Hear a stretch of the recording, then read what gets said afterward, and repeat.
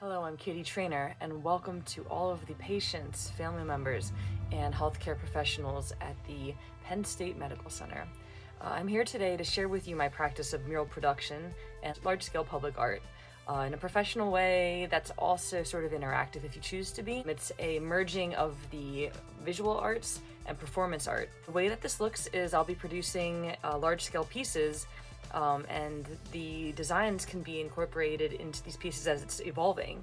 So uh, between the paintings and then the audience or the patients, we would have tables with crayons and pencils and pens and papers and uh, let people design and I'd have books out so people could go through stuff and figure out things that mean the theme to them. And our theme would be the stuff that I basically do all the time, which is like native species, indicator species, native pollinators, local history, local imagery, anywhere that's local to the space and merging it all together with like healthy ecosystems and healthy lifestyle and to get people sort of in the space of like wellness and being back out in nature and being people love to see animals. Um, one of the main goals here is the mission is to nourish well-being through the arts.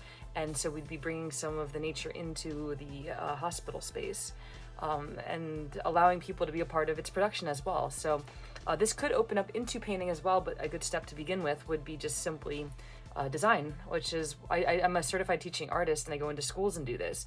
So getting the, the papers hands-on with the students, letting them be a part of the design. So people would be able to be a part of it as much as they want. And then I could merge all those pictures together and come up with something beautiful and happy and cheerful. Uh, something to stimulate well-being and optimism would be our goal. So uh, now I will show you some of my previous projects that would sort of fit the feel of what you'd expect to see from this type of project.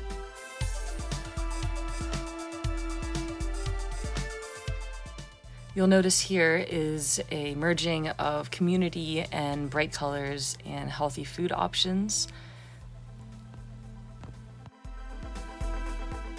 And this is what the original design looked like, which is what people can help participate in. Uh, paintings can be produced directly to the wall, or they can be mounted exterior or interior, uh, such as these. So these were produced on parachute cloth and mounted. However, these were produced on panels and then moved other places. Uh, so we would be doing something like this, producing on these type of panels, and it doesn't matter what kind, but then they could be put up other places. So there are lots of different layers that I use too, um, and this gives an opportunity for people who are in the hospital several days or weeks at a time to be able to watch the progress happen. So these panels were part of a larger project. Uh, this was one, a 100 foot long mural in Lancaster, PA. But uh, we could just produce some smaller panels too. They don't have to be part of this large scale piece. This is just to show an example of the type of imagery we could be using. For instance, this was a fire company and they wanted all this local history.